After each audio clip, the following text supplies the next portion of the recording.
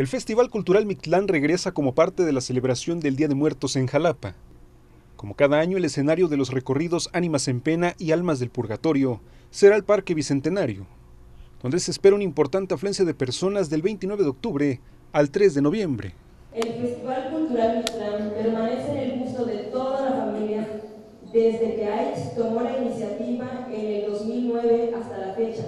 Se han dado 1.835 funciones han participado 86 este compañías escénicas y beneficiado entre artistas, técnicos, manuales a 682 personas.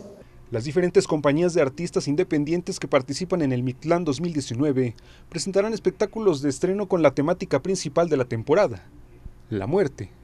Como parte de su vigésimo aniversario, el Festival Cultural Mictlán tendrá siete espectáculos de estreno.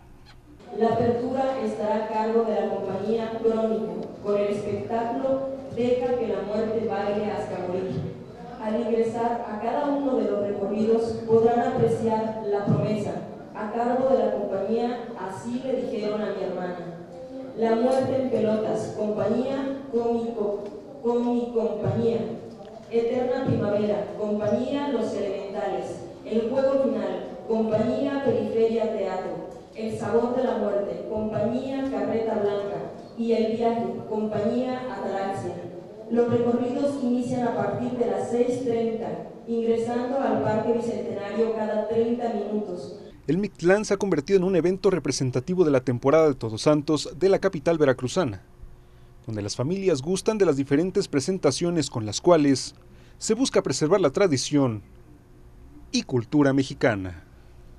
Con imágenes de Irving Mávil, Elías Durán, Mega Noticias.